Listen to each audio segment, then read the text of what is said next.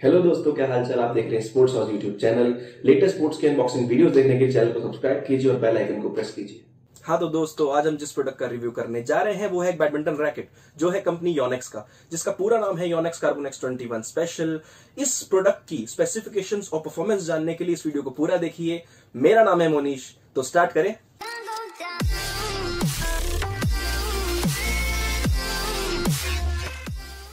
हाँ तो दोस्तों, ये है हमारे बैडमिंटन रैकेट का कवर जो कि एक फुल कवर है, जैसा कि आप देख सकते हैं।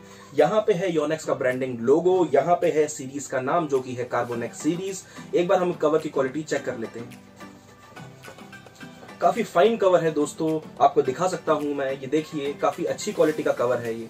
अब आते हैं हमारे मेन प्रोडक्ट पे, जो है एक बैडमिंटन रैकेट ये कंपनी से अनस्ट्रंग ही आया था, जैसा कि आप देख सकते हैं। ये स्ट्रंग्स डला हुआ नहीं आया था। अब बात करते हैं इसके हेड की। जिन लोगों को नहीं पता, मैं बताना चाहूँगा, ये बैडमिंटन रैकेट का हेड कहलाता है और ये मटेरियल इसका शाफ्ट कहलाता है। तो जो हेड है, वो ओवल शेप हेड है। मतलब इसका जो शेप है, वो ओवल है और जो इसका शाफ्ट है, वो बना है कार्बन ग्रेफाइट मेटल से। जिन लोगों को नहीं पता, उनको मैं बताना चाहूँगा कि कार्बन ग्रेफाइट एक मेटल है। जैसे कि आप देखते हैं, बहुत सारे रैकेट्स में अलग अलग मेटल यूज़ करते हैं, चाहे वो योनेक्स कंपनी हो, चाहे कोई भी कंपनी हो। एल्यूमिनियम ग्रेफाइट कार्बन स्टील तो वैसे ही कार्बन ग्रेफाइट एक मेटल का नाम है। इसका जो हेड है, वो एच एम कार्बन से एच एम ग्रेफाइट से बना है। एच एम ग्रेफाइट हम अगर जानते हैं, अगर आप नहीं जानते तो बताना चाहूँगा आपको।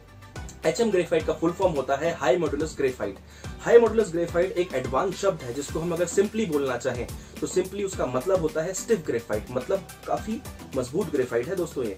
और सेकंड चीज़ जो मैंने इस बैडमिंटन रैकेट में नोटिस करी, वो है इसका कलर इसका कलर बहुत अट्रैक्टिव कलर है। आप देख पा रहे होंगे, बड़ा ही ब्लैकिश कलर है इसका, बहुत ही अट्रैक्टिव है।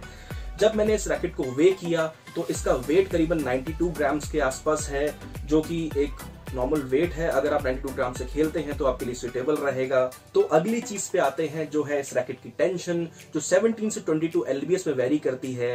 हाईएस्ट एलबीएस टेंशन जो है वो है 22 एलबीएस इसके अलावा ये रैकेट एक जापान मेड रैकेट है, जैसा कि इसके ऊपर मेंशन है मेड इन जापान अब हम बात करते हैं इस रैकेट की परफॉर्मेंस की। देखते हैं कि ये रैकेट कैसा परफॉर्म करेगा। ये है एक डिफेंसिव प्लेयर रैकेट। मतलब अगर डिफेंसिव खेलते हैं आप लोग तो ये रैकेट आपको बहुत सूट करेगा। अगर आप लोग अटैकिंग खेलते हैं तो शायद आपको शायद ये रैकेट सूट ना करे।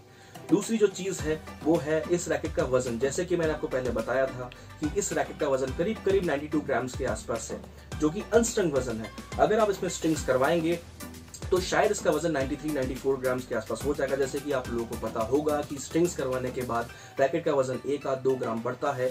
तो अगर आप ऑलरेडी 93-94 ग्राम के वज़न से रैकेट से खेल रहे हैं तो आपको ये सूट करेगा। अगर आप 85, 86 या थोड़े से और लेस वज़न के रैकेट से खेल रहे हैं तो शायद आपको ये रैकेट सूट ना करे या थोड़ा सा हैवी लगे। थर्ड चीज़ है इसका बजट जैसा कि आप देख सकते हैं, मैं आपको प्राइस टैग और एमआरपी साथ में डाल दूँगा। ये रैकेट का जो एमआरपी है, वो है फोर नाइन फाइव ज़ीरो करीब करीब पाँच हज़ार रुपए के आसपास इसकी एमआरपी है और मार्केट में आपको आराम से ढाई तीन हज़ार में मिल जाएगा। इसका मतलब है ढाई तीन हज़ार में जैपनीज रैकेट आपको मिल रहा है, जो कि एक नेक्स्ट टू इम्पॉसिबल चीज़ है। नेक्स्ट है इसका हाई स्ट्रेंथ फ्रेम होना। इसका फ्रेम काफ़ी हाई स्ट्रेंथ है वन पीस है और टॉर्क फ्री है।